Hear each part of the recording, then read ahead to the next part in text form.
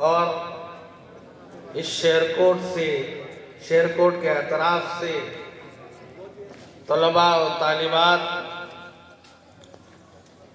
और अल्लाह और उसके रसूल से मोहब्बत रखने वाले तमाम हजरात यहाँ तशरीफ़ फरमा है। मैं उनका दिल की गहराइयों से खैर मकदम करता हूँ। ये हमारा हौसला और जज्बा ही है कि हम अल्लाह और उसके रसूल की मोहब्बत में इकट्ठा होकर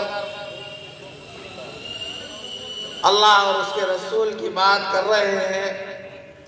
ये बड़ा खुशकिस्मत मौका है, बड़ी खुशी की बात है, मुबारकबाद के मुस्तक हैं जिम्मेदारान ऐसाइयों के, जिन्होंने इस मौके को कायम किया। और इस तलबा और तालिबात को जो है अल्लाह और उसके रसूल की मोहब्बत पैदा करने के लिए, जबकि हमें तो खुद ये चाहिए था कि हम पैदाइशी जो है ऐसे घरानों में पैदा हुए कि हमें अल्लाह और उसके रसूल की मोहब्बत पैदाइशी मिली है।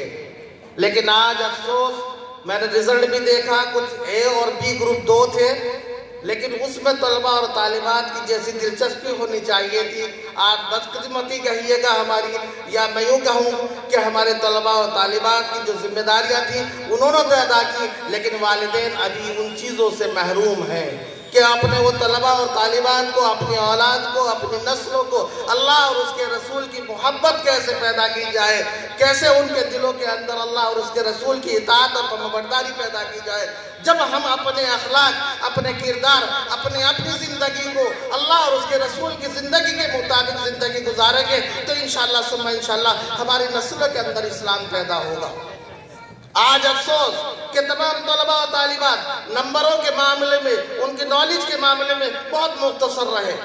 मैंने जायजा लिया, जबकि मुझे बताया नहीं गया, लेकिन मेरी फ़िक्र थी कि मैं ये देखना चाहता था कि हमारे नौजवान नस्लों के अंदर हमारे बच्चे, हमारे तलबा, हमारे तालिबात हमारे वालदेन कितना दिलचस्पी रखते हैं।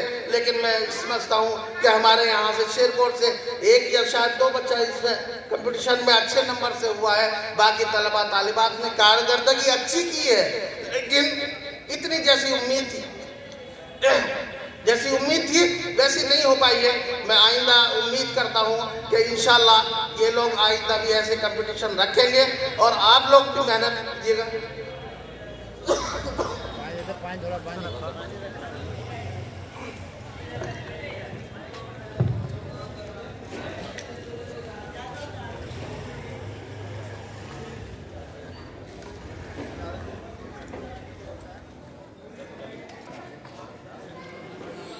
तो मैं कोशिश करूँगा, आए इनसे दरख्वास्त भी करूँगा और आप तमाम जिम्मेदारान हैं।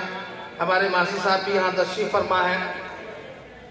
मैं इनसे भी दरख्वास्त करूँगा कि इस तरीके के कंपटीशन और इनकी रहनुमाई करते रहें। आप और हम जो है, नौजवानों की रहनुमाई करते हुए अल्लाह और उसके रसूल की बात को आगे बढ़ाते हुए हमें ऐसे बच्चों की हौसला अफजाई करनी चाहिए।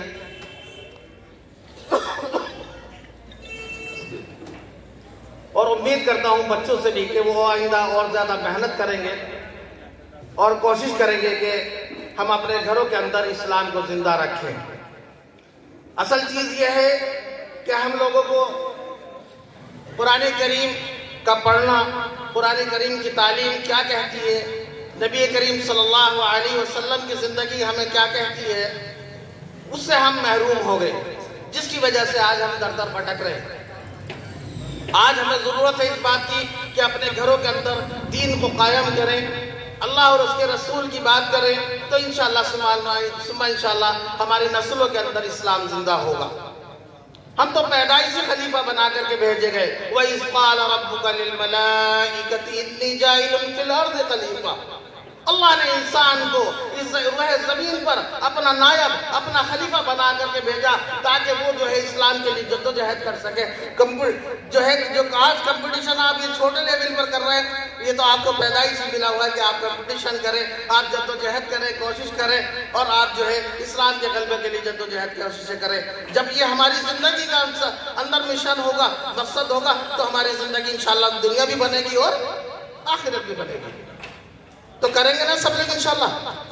इंशाल्लाह अल्लाह ताला मुझे भी आपको भी कुरान करीम और नबी करीम सल्लल्लाहु अलैहि वसल्लम की ज़िंदगी पर अमल करने वाला बनाए, ताकि ज़िंदगी और आखिरत दोनों कामयाब हो जाए। बड़ी मुख्तसर से अल्फाज में मैं आइंदा, मैं मुबारकबाद फिर पेश करता हूँ जिम्मेदारान कि और उम्मीद रखता हूँ कि आइंदा भी ये ज़्यादा से ज़्यादा कंपटीशन कराएँगे इस तरीके के, ताकि जो है हमारे बच्चों के अंदर दीन ज़िंदा रहे, दीन ज़िंदा कायम हो।